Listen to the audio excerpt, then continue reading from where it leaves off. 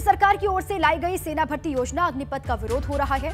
लेकिन इस बीच आज एक बार फिर से कल सेना की तरफ़ से एक साझा प्रेस कॉन्फ्रेंस की गई, जिसमें तफसील से बताया गया कि इस योजना से किस तरीके से लाभ मिलेगा और इस योजना को वापस नहीं लिया जाएगा। सेना की तरफ़ से साझा प्रेस कॉन्फ्रेंस में इन बातों को सामने रखा गया है।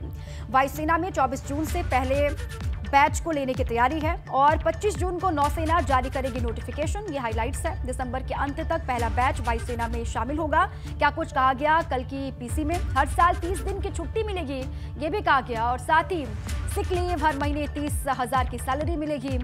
और हर साल इंक्रीमेंट होगा। Risk travel dress hardship allowance किया गया है।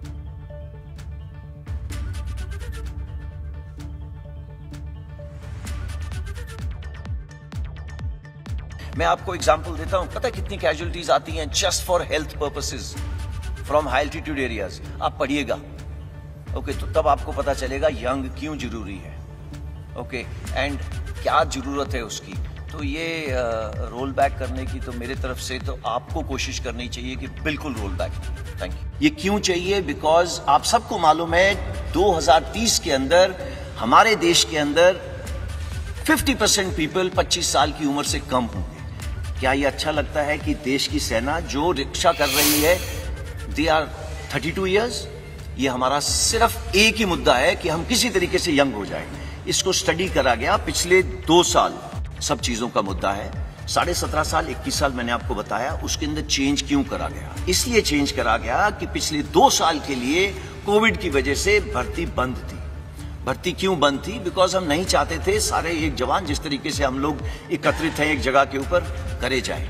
तो हमने देखा कि इतनी सालों से हम इसकी स्टडी करते जा रहे हैं। अभी हमें एक मौका मिला है to make a change without pain तो अगर ये चेंज विदाउट पेन हमने करना था, इससे अच्छा मौका नहीं था।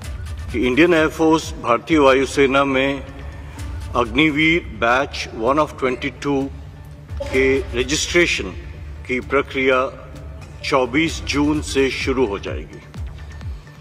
ये एक ऑनलाइन सिस्टम है, जो हमारा well established star examination system है। उसी के तहत ये नोटिफिकेशन और रजिस्ट्रेशन चालू होगी। इसके ठीक एक महीने बाद 24 जुलाई से जो फ़ेज़ वन ऑनलाइन एग्जामिनेशन है, उसकी प्रक्रिया शुरू हो जाएगी।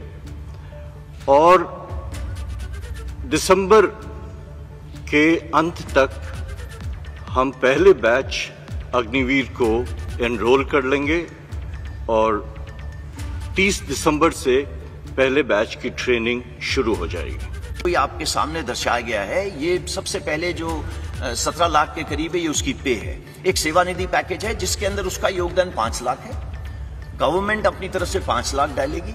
इन दोनों के ऊपर जो इंटरेस्ट दिया जाएगा, वो तकरीबन एक पॉइंट पाँच लाख होगा। सो टोटल पे उसको चार लाख तकरीबन इतनी मिलेगी। इसका मतलब ये नहीं है कि वो हमारे बराबरी की रिस्क एंड अलाउंस नहीं लेगा। उसके जितने भी अलाउंसेस हैं सेम रहेंगे। अगर वो मेरे साथ सियाचिन में बैठा है he get the same allowance अगर वो मेरे साथ राजस्थान में बैठा है तो उसको सेम अलाउंस मिलेगा। अगर वो मध्य प्रदेश में बैठा है, मुझे भी नहीं मिल रहा, उसको भी नहीं मिल रहा। So it is equated there is no differentiation वो साथ वाले बिस्तरे पे सो रहा होगा। वो वही कपड़े पहन रहा होगा जो मैं पहन रहा हूँ। वो मेरे साथ लंगर में बैठ के खाना खा रहा होगा। देर इज़ नो डिफरेंस कोई अलग बैरक नहीं बना दी अग्निवीर के लिए। To make a change without pain तो अगर ये चेंज विदाउट पेन हमने करना था, इससे अच्छा मौका नहीं था। करने का। इस पे स्टडीज़ चल रही थी। मैंने आपको बताया, Kargil review committee group of ministers report ये सब स्टडी करते जा रहे थे बट हमें मौका नहीं मिल रहा था कि ये कब करा जाए because it was a transformative reform हमें ज़रूरत थी, आज नहीं, तीस साल से ज़रूरत थी इस एज को कम करने